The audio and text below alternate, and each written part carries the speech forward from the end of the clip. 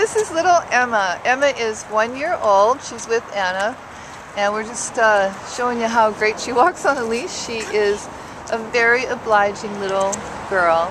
She needs, needs, she is in need of a permanent home right now.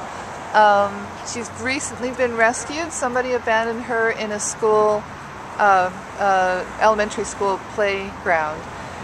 And uh, Emma is, um, you know, great with dogs and probably great with cats. She's very submissive, a very sort of fragile little girl, very sweet.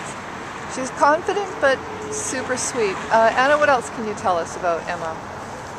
She, we pro- we think that she probably came from somebody's home because she's uh, of a good weight and she's um, like her fur is of a good state and everything, but she's she's just not kenneling well. I mean, she doesn't understand why she's suddenly surrounded by a bunch of barking dogs, and we think that's because she's used to being in a home.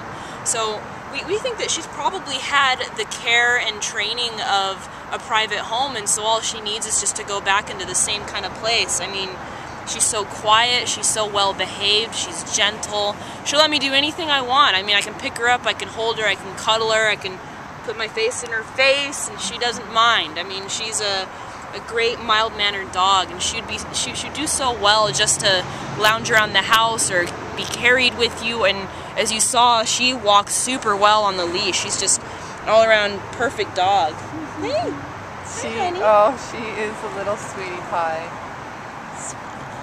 So this is Emma up for adoption with United Hope for Animals. Give us a call at 909 801 0012 this is Emma